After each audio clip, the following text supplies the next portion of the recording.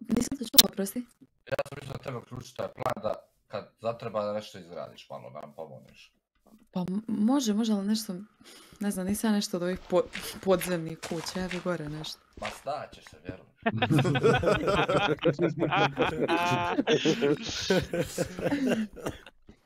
Lukio, znaš, znaš nazad put, brate. Pa da znam, brate, od bijeli ili crne? Šta kažeš? Evo, evo, ovo je Da dobro. znam, Crni ispraviti, ili bijeli ne kamen? sam pustio gore. Šta crni ili bijeli? Pa ovaj... Obični cobblestone ovaj Deep, mi deep treba. plate ili obično? Obični.